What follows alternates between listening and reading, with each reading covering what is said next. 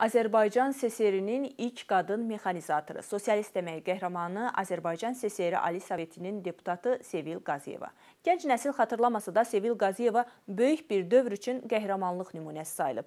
Xüsusilə faciəli ölümü hələ də özündə çoxlu suallar gizlədir.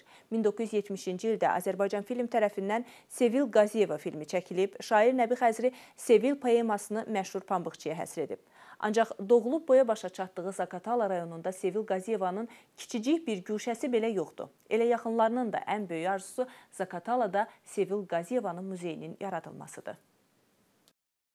Maşınlar tarlaya, kətmə muzeyə, bu söz dilimizdə bir şüar olsun. Misralarının müəllifi, Azərbaycanın ilk qadın mexanizatoru Sevil Qaziyeva 1940-cı il iyun ayının 1-də Zakatala rayonunun Aşağı Tala kəndində anadan olub. Orta məktəbi bitirdikdən sonra Sevil sənədlərini Bakıdakı 5 nömrəli sənət məktəbinə verir. Burada poliqrafiya sənətini öyrənən Sevil Qaziyeva həm də teatr dərnəyində fəaliyyət göstərir. Həmin illərdə mətbuatda şeirləri də dərc olunur. Bir gün qəzetdə Özbək Tursunoy Axunovanın maşında tək başına 100 adamın yığdığı qədər pambıq yığdığını öyrənən Sevil sürücü mexanik olmağa qərar verir. Kənd təsərrüfatını mexanikləşdirmə məktəbini bitirəndən sonra Sevil Qaziyeva könüllü şəkildə Beyləqan rayonuna işləməyə gedir. Beyləqanda kompleks briqada yaradır və həmin briqadaya başçılıq edir.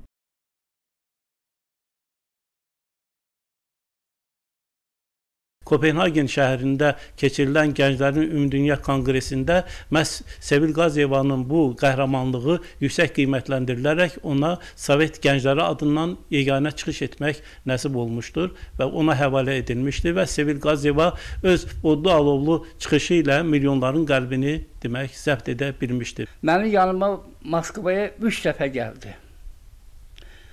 Narapaninski oblastda orada mən psixoloji çevirdim Moskvada. Üç dəfə Moskvaya yanıma gəldi.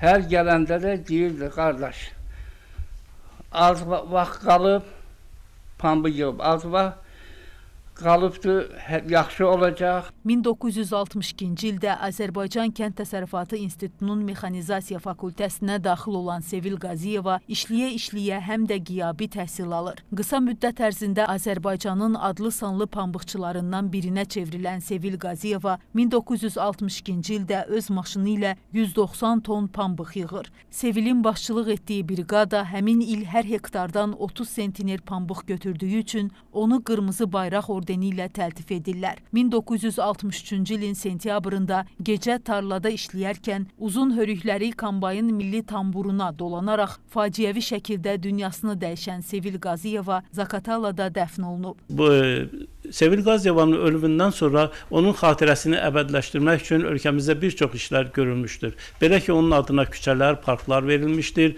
Onun Bakı şəhərində və doğma Zaqatalada abidələri qoyulmuşdur. Onun haqqında çoxlu əsərlər, kitablar yazılmışdır. Mən də bir yaradıcı ziyalı kimi Zaqatalaya həsr etdiyim 14 kitabın altısında Sevil Qaziyevanın qəhrəmanlığından bu və ya digər şəkildə demək, e, bəhs etmişəm. 23 illik ömür sürməsinə rəğmən Sevil Qaziyeva bir tarix tarix yazdı. Təəssüf ki, çox sevdiyi, doğulub boya başa çatdığı Zakatalada onun xatirəsinə aid bir güşə belə yoxdur. Zakatala rayonunda çox böyük sağ olsunlar. Mən demirəm, hər şeydə köməkli eləyirlər, təşəbbüskarlıq. Amma fikir verirsiniz, e, şəkillərin bir çoxu solğun vəziyyətdə saxlanılması, onun ərsəyə gətirilməsi, onun ölümündən 50 il vaxt keçib uşaqlıqdan bu yana mən onu hissə-hissə saxlayıram, amma nə eləyim ki, əlimdə deyil. Onları istədiyim kimi qoruyub saxlaya bilmirəm. Ona görə də mən istəyirəm ki, Sevilin belə bir ev muzeyinin yaradılması Zaqatalada məqsədə uyğun olardı. Xahiş edərdim ki, əlaqədar orqanlar Sevil Qazi gələcəkdə Sevil Qaziyevanın e, ev muzeyinin təşkil edilməsində yardımcı olsun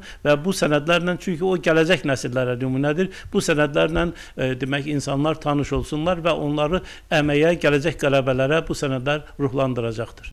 Yetişməkdə olan gənc nəsli əməyə, torpağa həvəsləndirmək baxımından Sevil Qaziyeva, Mina Nəzirova və onlarca başqa əmək qəhrəmanı olan Zakatalada da belə bir muzeyin yaradılması labüddür. Pərvanə Mustafayeva, Vüsalə Cərçiyeva, Bəşir Rəhimov, Zakatala.